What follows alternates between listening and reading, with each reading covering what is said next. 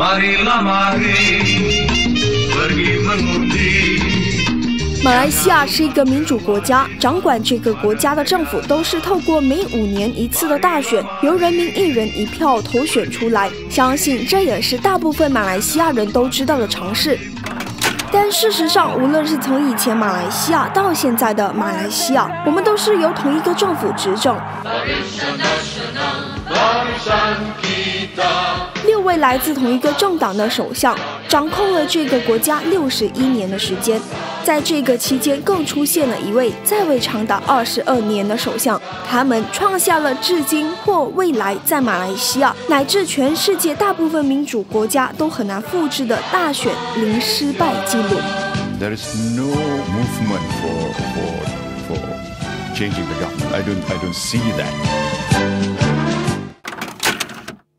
但在二零一八年的这一天，一切都迎来了重大的转变。二零一八年的五月九号是每一位马来西亚人都不会忘记的日子。还记得那一天，无论是连选票都没有摸过的手头族，还是投了一辈子票、已经对国政继续执政习以为常的长辈们，大家都在投票的当下对马来西亚抱着满怀的期望。正是基于这样的信念，人民做到了。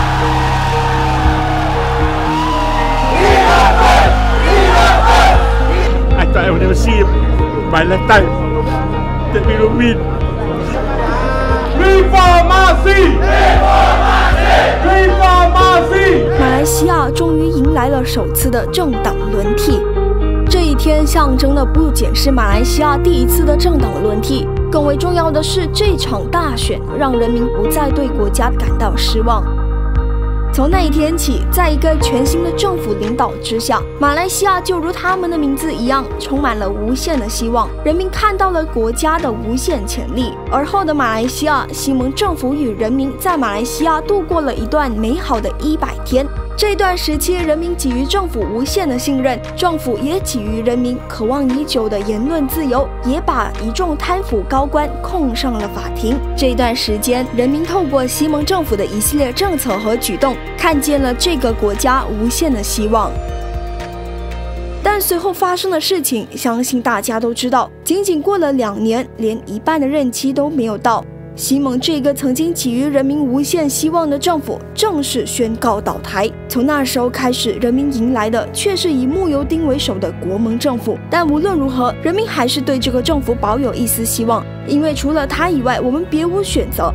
但从二零一八年到今天，相信所有马来西亚人民都会认为，无论是国政、西盟或者是国盟。他们都只是换了名字的烂苹果，无论谁来当政府，他们都只是在玩一样的把戏。在这样的情况底下，都不禁让人民，尤其是在二零一八年满怀热血和希望投下神圣一票的人民，认为选举到底还有意义吗？